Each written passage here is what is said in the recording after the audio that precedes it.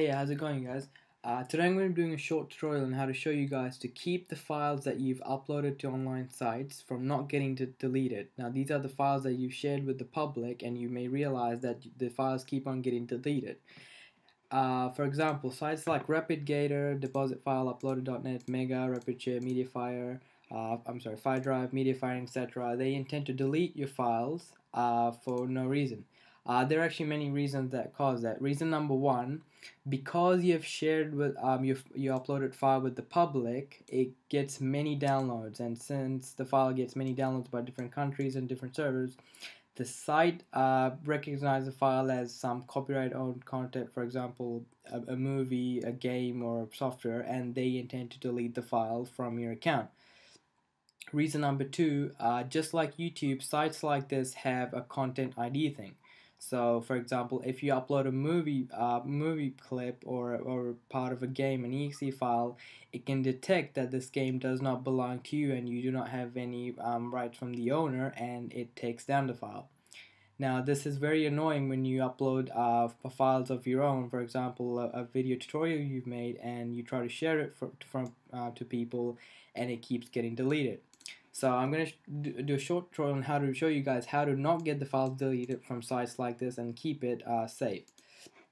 Uh, before I start the tutorial, I want to say that I do not approve of you sharing movies and games and software and etc. that does not belong to you and this is just for personal use and how to keep your files that you shared with the public uh, safe and not get deleted.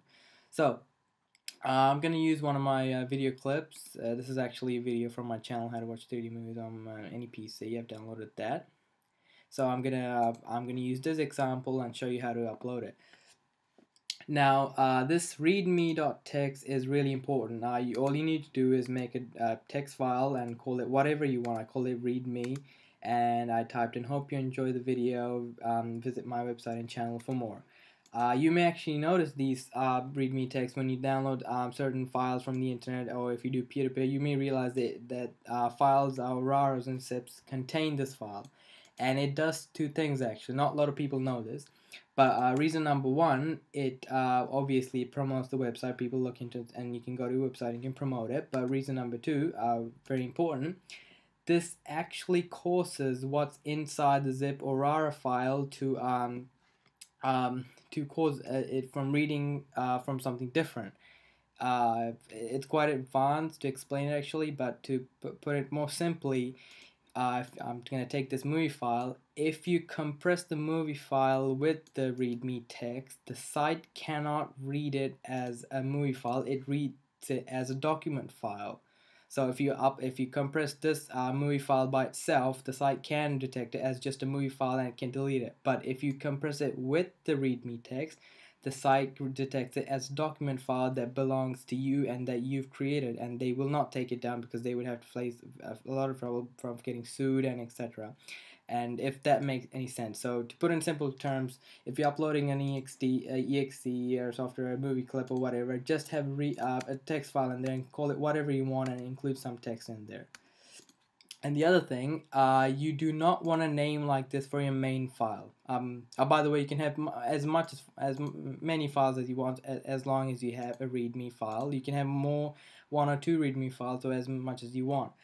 Uh, what I was saying, you do not want a name like this uh, for two reasons. Reason number one, uh, there are search uh, engines out there that can go through uh, hosting sites. Some are legal, some are illegal. That can go into your private um, private files. And if you have a name like this, it can detect it easily, and they can start downloading it.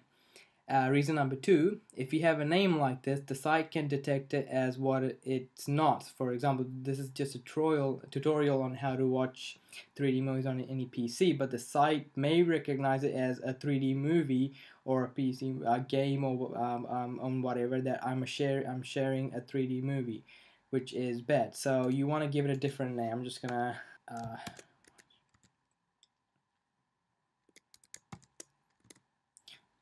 uh, you want to name it something like that. Doesn't actually make any sense, but include uh, an underscore and a couple of numbers in there. Let me just copy that. And then what you do is you compress it with the README file.